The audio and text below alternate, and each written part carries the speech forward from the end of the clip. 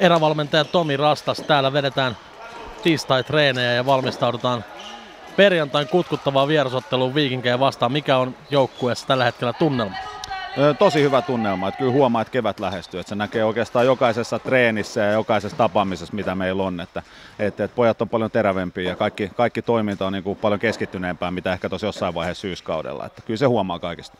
Niin, sunnuntaina oli aika monen taistelupeli Raumalla Salbaa vastaan. Minkälainen fiilis tuosta reissusta jäi?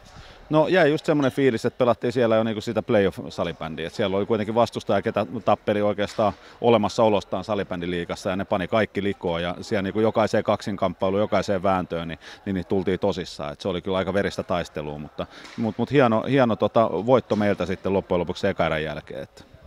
Ja nyt kun katsotaan salibändiliikan runkosarjan loppuratkaisuja, ne on siellä molemmissa päissä aika huimia tämä putoamistaistelu on todella mielenkiintoinen, mutta sitten myös taistelu kotiedusta käy kuumana ja siinä toi perjantain matsi on aika relevantti. Mitä mieltä olet tuosta erän loppuohjelmasta?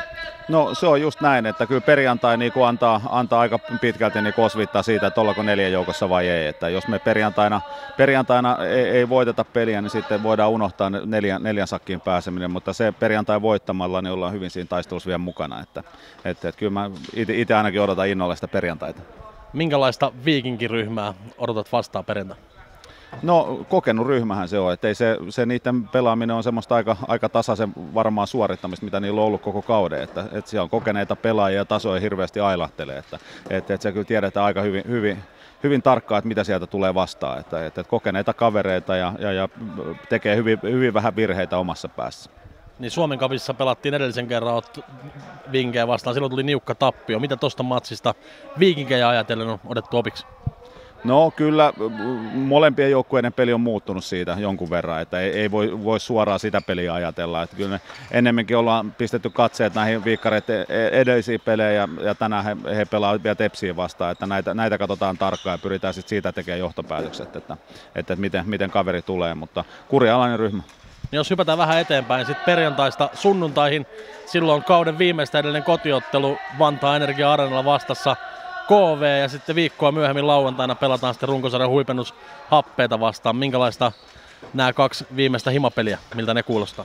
No tosi hyvältä, että, että, että KV vastaan vedettiin tosi tiukka vääntö viimeksi, että, että, että taisi olla maali, maalin ero meillä ja siellä oltiin, oltiin muutama otteeseen vähän sillassakin, että, että, että kaveri pelasi silloin meitä vastaan todella hyvin ja, ja, ja happea sitten vi, viimeinen peli runkosarjassa, niin siinä on kyllä saadaan paras mahdollinen vastus siinä vielä ennen, ennen playereita, että hyvin valmistaa meitä varmaan sitten niihin tuleviin playoff-vääntöihin. Että happeet vasta ollut aina tosi hyviä pelejä, niin usko, uskon niin nytkin, että viihdyttävä joukkue pelaa aika hyökkäysvoittoista salibändiä, niin sopii, sopii meille kyllä hyvin. Että siitä uskon, että tulee aika, aika iloinen salibändiottelu.